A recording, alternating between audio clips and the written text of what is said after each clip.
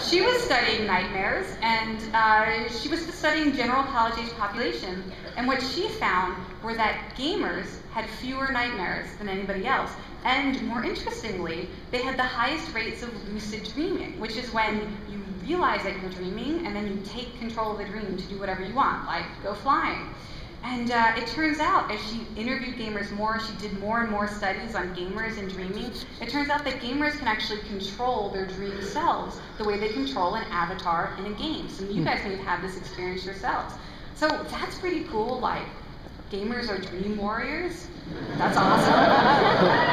okay, so is it possible that games can give us real life superpowers? Like, that would be a good side effect. Um, okay, so that's actually what I write about in my book, Reality is Broken, looking at all of the science of how games make us better and then what we can do with it in our real lives and in the real world. And I don't want to leave you guys in suspense if you haven't read the book, but the answer to all the questions is yes. Games do bring out the best in us. They are a gateway to real life goals. They do change who we think we really are. They are protecting us from real harm, and they can give us actual superpowers.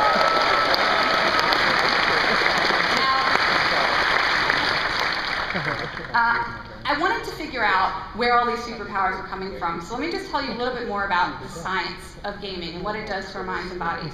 Um, this is a quote that I found from a researcher who's been studying plays for decades, actually before video games were invented. Um, and he had this great quote that really condensed all the science for me. He said that the opposite of play isn't work, it's depression. This is really interesting. So if you look at the clinical definition for depression, it has two really essential qualities.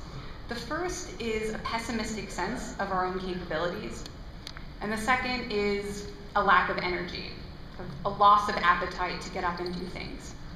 If you were to reverse those two traits, you would get an optimistic sense of our own capabilities and a rush of invigorating activity and this, I think, is a perfect description of what it feels like to play a game, right? When we sit down to play a game, we feel optimistic. We're sure that we can beat it. Doesn't matter how hard it is. And we're totally energized. We could be tired, we could be worn out, we could be frustrated, feeling terrible, and suddenly we're still staying up till 3 a.m. because we have all the energy in the world to play this game.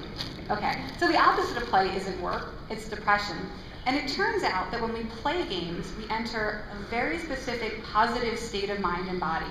Scientists call it eustress, which comes from the Greek word eu, or well-being, and stress. And this is really interesting because normally when we talk about stress, we mean the negative kind. We mean feeling totally pressured to do something that we don't want to do, or we're not sure we can do, we don't have enough time to do it. And when we get this external pressure, we experience stress as, uh, as frustrating or anxiety producing. And our body changes in response to negative stress.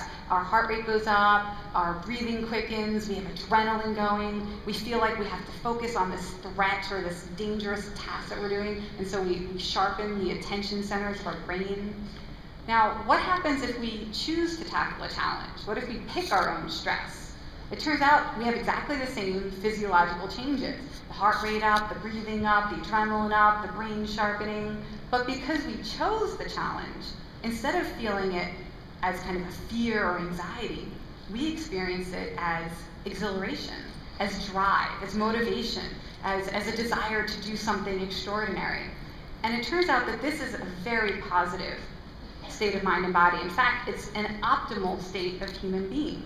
When we're in a state of eustress, we set more ambitious goals for ourselves.